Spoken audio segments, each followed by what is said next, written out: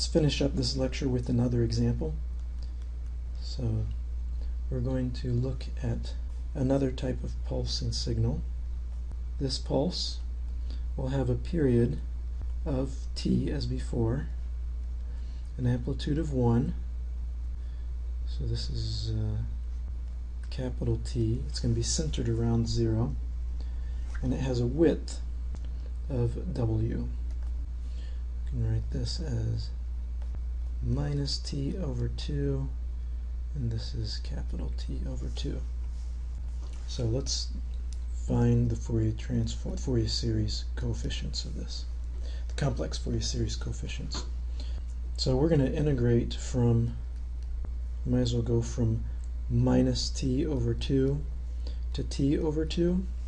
But we notice that when we integrate over that period, we only have a non-zero function for the width w. So we can actually, okay, so I'll go ahead and write this, but we're gonna we're gonna change the limits here in a moment. We'll change it to minus w over 2 to w over 2, and our function has a value of 1 e to the minus j n omega naught t dt. So then we'll have minus 1 over j n 2 pi over capital T times capital T times uh, e to the minus j n 2 pi over capital T times w over 2 minus e to the minus j, that'll be plus jn 2 pi over capital T w over 2. So this will take some cleaning up. Um, we'll have minus 1 over n pi times e to the, actually we'll put a plus there, and then we'll go e to the plus j n um, pi w over t minus e to the minus j n pi w over t divided by 2j, which yields, we see a sign here, so we have a sine of n pi w over t divided by n pi. Let's rewrite that um, as t over, sorry, as w over t times sine of n pi w over t divided by n pi w over t. And this right here is of the form sine x over x. And we have a special name for that, which is called the sinc function, sinc x. So we can write this as w over t times the sinc of n pi w over t. Now let's define a variable d, duty cycle, as equal to w over t. So if we have a pulse that has a period capital T and a width of W, then the ratio of the width of the pulse to the total period is the uh, is the duty cycle. So finally, let's rewrite this one last time. F of n is equal to the duty cycle times the sinc of n pi times the duty cycle. Okay, so what have we found? We found that a pulse that has a period of t, capital T, and a duty cycle of d times t has a frequency response that looks like like this. We'll have n f of n.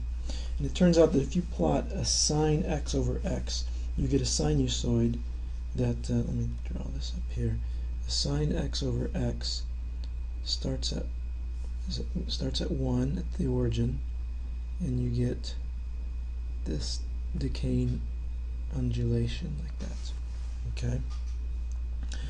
So we will get the same kind of response it's an even function. Okay it's not very well drawn. So there's a DC value in this case because it's pulsing from 0 to from 0 to 1 so there's a DC value. There'd be a value at at all values of n. Okay so I'll just draw these in here to indicate. It's important to remember that for the Fourier series the frequency spectrum is always discrete there's only frequencies at discrete points in frequency. And so even though I've traced out the sinc function shape, um, it actually is just the envelope for these discrete um, spectral lines. Okay, and so what this tells us is that to create a pulse, um, it takes uh, an infinite number of harmonics, sinusoidal harmonics, of decreasing amplitude, but also as the harmonics increase in frequency, they alternate in magnitude. And the, um, the spacing of these frequencies, the, the spacing of the, uh, of the harmonics, how close they are, and their amplitude are affected by, uh, by the duty cycle. So for uh, n equal to 0, the height is actually d. Okay, which means that uh, as the duty cycle gets smaller, uh, the uh, the magnitude of at at zero will become at frequency zero will become smaller and smaller. So I have an animation to to show you to help visualize this. All right, here we are showing f of n as a function of n. So I'm going from minus 20 to 20, showing those uh, those 40, 41 terms. And we are going to be changing the duty cycle. You see up in the top there, D is the duty cycle. So we're starting at 5% and we'll go all the way up to 100%.